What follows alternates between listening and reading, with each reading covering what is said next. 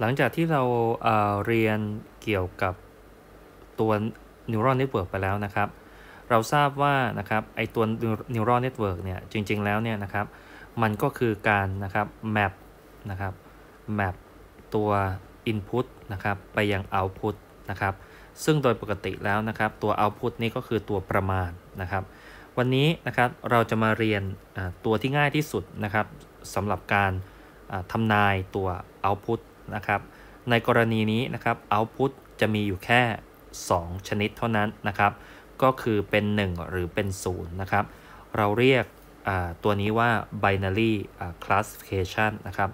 binary ก็แปลว่านะครับ ผลลัพธ์นี้เป็นไปได้อยู่แค่ 2 แบบก็คือนะครับไม่ 0 ก็ 1 นะครับ classification ก็คือนะครับการแยกแยะนะครับ โดยปกติแล้วนะครับ สิ่งที่เราทำกันนะครับ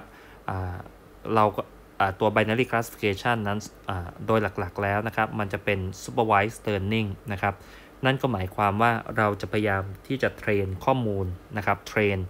แล้วก็สอนไอตัวตัวนิวรอนของเราก่อนนะครับ ว่าจะทำการแยกแยะยังไงนะครับ แล้วหลังจากนั้นนะครับ เราถึงจะให้มันทำงานนะครับยกตัวอย่างเช่นนะครับ สมมุติถ้าเกิดเรามีรูปแมวนะครับ binary classification นั้นก็จะตัดสินว่านะครับรูปแมวตัวนี้นะครับ เป็นแมวหรือเปล่านะครับ ถ้าเกิดเป็นแมวเราก็ให้นะครับ output y hat ออกมามีค่าเป็น1นะครับ ถ้าเกิดไม่ใช่แมวเราก็จะให้ output นะครับออกมามีค่าเป็น0นะครับ ฉะนั้นเนี่ยนะครับซึ่งตัว input ในกรณีนี้นะครับที่เราจะใส่เข้าไปนะครับ x ตัวนี้ที่ใส่เข้าไปในกรณีที่ภาพเราเป็นภาพแมวนะครับ ก็จะเป็นนะครับภาพนะครับยกตัวอย่างเช่นเป็นพิกเซลนะครับพิกเซลของอรูปแมวนะครับ สมมตินะครับสมมติว่าถ้าเกิดสมมตินะครับ ขนาดไซส์ของนะครับรูปของไอ้รูปแมวนี้นี่มีขนาด 64คูณ64นะครับพิกเซลนะครับทั้งนี้ 64คูณ64พิกเซลนะครับแล้วก็คูณ 3 ในกรณีนี้ความหมายก็คือว่าแต่ละรูปนั้นจะประประกอบไปด้วยนะครับ องค์ประกอบของสีก็คือ R G และ B นะครับ ฉะนั้นเนี่ยจริงๆแล้วเนี่ยนะครับภาพสีก็จะประกอบไปด้วยนะครับ ขนาดไซส์ของนะครับตัว Image นะครับขนาดไซส์ของพิกเซลนะครับก็คือ 64คูณ64คูณ3นะครับซึ่งนะครับมีค่าทั้งหมดนะครับ12,288นะครับทั้งนี้นะครับเวลาที่นะครับเราจะเอาข้อมูลตัวนี้นะครับเอาฟีดเข้าไปยังนิวรอนนั้นนะครับเราก็จะคลี่ข้อมูลออกนะครับยกตัวอย่างเช่นนะครับสมมติเรามีข้อมูลเป็น R นะครับ แล้วหลังจากนั้นข้อมูลเป็น G แล้วจากนั้นข้อมูลเป็น B นะครับ ซึ่งเป็นองค์ประกอบของสีรวมกันเนี่ยก็จะได้รูปตัวรูปแมวนะครับ รูปแมวที่เป็นภาพสีนะครับ ในกรณีนี้นะครับอองค์ประกอบของ R ก็จะมีนะครับขนาดไซส์เท่ากับ 64คูณ64 นะครับองค์ประกอบของ G ก็จะมีขนาดเท่ากับ 64คูณ64 แล้วก็องค์ประกอบของ B ก็มีขนาด 64คูณ64 เช่นเดียวกันนะครับ ฉะนั้นเนี่ยในกรณีนี้นะครับเราก็จะนะครับทำการนะครับ เรียงข้อมูลนะครับ ยกตัวอย่างเช่นพิกเซลอันแรกนะครับพิกเซลค่าแรกนะครับในในองค์ประกอบของ R นี้มีค่า 255 นะครับ ตัวที่ 2 มีขนาด 231 ไปเรื่อยๆ นะครับ เรียงจากซ้ายมาขวาบนลงล่างนะครับ เราก็จะเรียงมาในแนวแกนตั้งนะครับขณะเดียวกันพอหมด พอหมดองค์ประกอบของ R เสร็จปุ๊บนะครับ เราก็จะมาเริ่มที่องค์ประกอบของ B นะครับ อ่า องค์ประกอบของ G นะครับ เราก็จะเรียงจากซ้ายมาขวาบนลงล่างนะครับ ลงมานะครับ เช่นเดียวกันนะครับ ฉะนั้นเนี่ยนะครับขนาดไซส์ทั้งหมดนะครับ เราจะฟอร์มตัวเป็นเวกเตอร์ของ Input นะครับในกรณีของรูปนะครับ ซึ่งเวกเตอร์นี้นะครับก็จะมีขนาด 1 2 2 8 8คูณ1นะครับแถวนะครับแถวมีทั้งหมด 12,288 ซึ่งสอดคล้องกับจำนวนพิกเซลนะครับทั้งหมดที่มีอยู่ในภาพนะครับ แล้วก็คูณด้วย 1 ก็คือหลักมีอยู่แค่หลักเดียวนะครับ เราจะฟีดไอตัว x ตัวนี้ input ตัวนี้นะครับ เข้าไปยังตัวนิวรอนนะครับ แล้วให้นิวรอนตัวนี้นะครับทำการ classify นะครับว่าเป็นรูปแมวหรือไม่ ฉะนั้นเนี่ยผลลัพธ์นะครับในกรณีที่บอกว่าใช่หรือไม่ใช่นั้น ก็จะมีอยู่แค่ 1 หรือ 0 นะครับ เราถึงเรียกมันว่า binary classification นะครับ binary classification นั้นนะครับเป็นฟอร์มที่ง่ายที่สุดนะครับ สำหรับตัว neuron หรือตัว neuron network นะครับในการที่จะตัดสินใจนะครับ เพราะว่ามีผลลัพธ์อยู่แค่ 2 ตัวนะครับ เสร็จแล้วเนี่ยนะครับสมมุติถ้าเกิดนะครับตอนที่เราจะทำการสอนตัว neuron นะครับสอนตัว neuron นั้น เราก็จำเป็นจะต้องทำ supervised learning นะครับการทำ supervised learning นั้นนะครับเราก็ต้องใช้มนุษย์ในการที่จะไปบอกนะครับว่ารูปไหนเนี่ยนะครับเป็นแมวหรือไม่แมวนะครับ ยกตัวอย่างเช่นเราก็จะฟอร์มนะครับ สิ่งที่เราจะฟอร์มก็คือฟอร์มคู่ลำดับนะครับ โดยที่นะครับตัวแรกนะครับคือ x เนี่ยก็จะแทนเวกเตอร์ของรูปนะครับ จะแทนเวกเตอร์ของรูปนะครับ ข้อมูลของรูปแบบที่ผมโชว์ให้เห็นนะครับ มีขนาด 1 2 2 8 8คูณ1นะครับ อันที่2นะครับก็จะแทนนะครับ จะแทนผลลัพธ์นะครับที่เราจะทำ label ไปนะครับ ฉะนั้นเนี่ย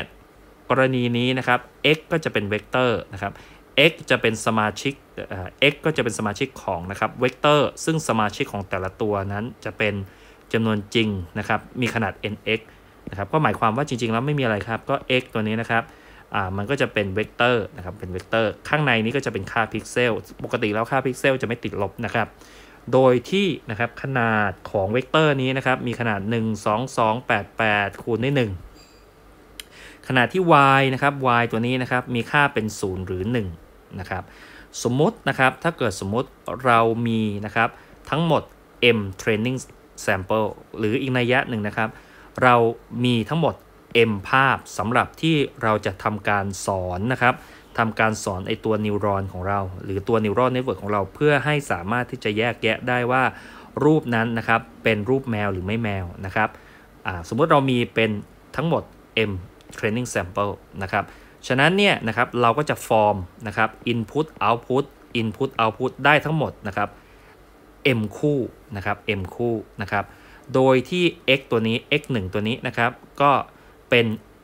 เวกเตอร์ของพิกเซลของรูปที่1นะครับโดยปกติแล้วนะครับเราจะใช้นะครับ notation ก็คือนะครับ วงเล็บนะครับวงเล็บแล้วก็ใส่เข้าไปว่าไอตัวนี้เป็น training อะไรนะครับอันนี้คือ training ตัวที่ 1 อันนี้คือ training ตัวที่2นะครับอันนี้ก็คือ training ตัวที่ m นะครับทั้งนี้นะครับเราจะเห็นได้ว่านะครับเราก็จะมีเป็นจำนวนคู่นะครับเราจะมีจำนวนคู่นะครับจำนวนคู่นะครับตัวที่1นะครับตัว input ตัวที่ 1 เราก็จะได้นะครับตัว output ตัวที่1เอาต์พุตก็ จะเป็น0หรือ 1 ก็ขึ้นอยู่กับว่ารูปนี้นะครับมนุษย์มองว่าเป็นแมวหรือเปล่านะครับ x 2ก็เหมือนกันนะครับ x 3ก็เหมือนกัน ยกตัวอย่างเช่น โดยถ้าเกิดสมมติเรามี 1,000นะครับ1,000 รูปนะครับเรามี 1,000 รูปที่เราจะใช้ในการสอนนิวรอนนะครับรูปใน 1,000 รูปของเราก็อาจจะมีรูปแมว แล้วก็รูปซึ่งไม่ใช่แมวนะครับฉะนั้นเราก็จะมีคู่ลำดับทั้งหมด 1,000 คู่ลำดับนะครับ m ในกรณีนี้ m ก็จะเป็น 1,000นะครับ เราจะมีทั้งหมด m คู่ลำดับซึ่งนะครับในแต่ละคู่ลำดับนั้นก็จะแทนนะ input กับ output นะครับที่ถูกต้องนะครับ อันนี้แหละครับที่ผมเคยบอกว่าไอ้ตัวนี้มันคือสิ่งที่เราจะมนุษย์จะต้องไปเลเบลนะครับจะจะต้องไปเตรียมข้อมูลนะครับไอ้ตัวนี้บางครั้งเราเรียกว่า data set data set นะครับเตรียมข้อมูลเพื่อผลสุดท้ายเนี่ยนะครับเราจะเอาไปให้ไปสอนตัว neuron มัน ซึ่งวิธีการสอนนี่เดี๋ยวจะผมจะไปพูด นะครับอีกทีหนึ่งในเลคเชอร์ต่อไปนะครับ ทั้งนี้นะครับเราสามารถที่จะฟอร์มนะครับฟอร์มตัวเมทริกซ์ของ Input ได้นะครับ จากที่เราเคยเรียน Linear Algebra มานะครับ หรือเรียนเลขตอนสมัย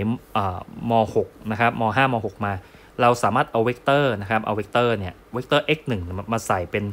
นะครับหลักที่1นะครับเวกเตอร์ x 2นะครับมาใส่เป็นหลักที่ 2 ไปเรื่อยๆ ถึงเวกเตอร์ xm มาใส่เป็นหลักที่ m นะครับเราจะเห็นได้ว่าไอ้ตัวนี้ก็คือนะครับเราสามารถที่จะสร้างเป็นนะครับเมทริกซ์ของ Input ได้นะครับ ซึ่งนะครับหลักของมันทั้งหมดเนี่ยหลักของมันเนี่ยครับจะเท่ากับจำนวนเทรนนิ่ง image training ของเรานะครับ ยกตัวอย่างเช่นนะครับ สมมติหลักของเราสมมติหลักของเราเป็น 1,000นะครับรูปที่เราใช้เทรนเป็น 1,000นะครับหลักของเราก็จะเป็น 1,000 หลักของเราก็จะเป็น 1,000นะครับ ในขณะเดียวกันนะครับความยาวนะครับแถวจำนวนแถวนะครับจำนวนแถวนะครับจำนวนแถวก็คือเราดูทางนี้นะครับ ก็จะมีค่าเท่ากับ nx ก็คือเท่ากับ 12288ในจากตัวอย่างนะครับ ถ้าเกิดสมมุติในกรณีที่รูปเรานั้นนะครับ เป็น 64คูณ64คูณ3นะครับ ฉะนั้นเนี่ยไอตัวนี้เราสามารถที่จะฟอร์มเป็น ตัวนะครับฟอร์มเป็นตัว Input ซึ่งเราจะสามารถนะครับใช้ในการ train ตัว neuron หรือ neural network ของเราได้นะครับ ส่วน Output นะครับ ส่วน Output ของเรานั้นนะครับ ก็จะเป็นนะครับขนาดไซส์ทั้งหมดนะครับหนึ่งคูณด้วย m นะครับ ก็คือนะครับรูปที่ 1 นั้นนะครับ รูปที่ 1 นั้นเป็นแมวหรือไม่แมว มันก็มีโอกาสเป็น 1 หรือ0นะครับ รูปที่ 2 เป็นแมวหรือไม่แมว แล้วก็ 1 หรือ 0 ถูกไหมครับไปเรื่อยๆ ใช่ไหมครับ ในกรณีนี้นักศึกษาเห็นว่าไอ้ตัวนี้คือนะครับ binary classification เพราะนะครับตัว output นะครับตัว output จาก neural network หรือ neuron นั้นนะครับเป็นไปได้แค่ 2 กรณีนะครับไม่ศูนย์ก็1นะครับทั้งนี้ไอตัว y นะครับฉะนั้นเนี่ย y เป็นซึ่งเป็นนะครับเมทริกซ์เราอาจจะมองเป็นเมทริกซ์ก็ได้นะครับ หรืออาจจะมองเป็น เวกเตอร์ก็ได้นะครับ จะมีขนาดนะครับ เป็น เป็นนะครับ เวกเตอร์ของ1คูณ m นะครับ เวกเตอร์ของ1คูณ m โดยที่ y นั้นนะครับ มีค่าอยู่ไม่ศูนย์ก็1นะครับ ไม่ศูนย์ก็1นะครับ อันนี้คือตัวที่ง่ายที่สุดแล้วนะครับสำหรับตัวการทำงานของตัว neural network หรือนะครับ ตัว binary classification นะครับ โอเคนะครับ สวัสดีครับ